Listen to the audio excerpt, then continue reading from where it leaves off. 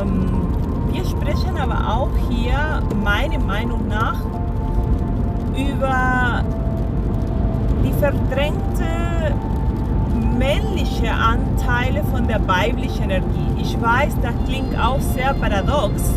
Jetzt in der Astrologie und in der Bachblüte manchmal gibt viele Paradoxen. Weibliche Energie hat auch eine männliche Energie in sich und diese männliche Energie ist die rebellische Lilith.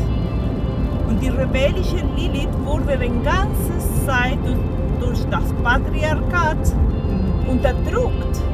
Ähm, also da hat sich gezeigt, zum Beispiel ganz früh in unserer Kindheit, als uns gesagt wurde, du darfst dich nicht zeigen, du bist hässlich, du kannst nicht, warum machst du das, äh, warum sagst du, was du denkst, so offen, wenn das in Gesellschaft nicht gut wird und so weiter und so weiter. Also wo ist diese Stelle in dein Radik?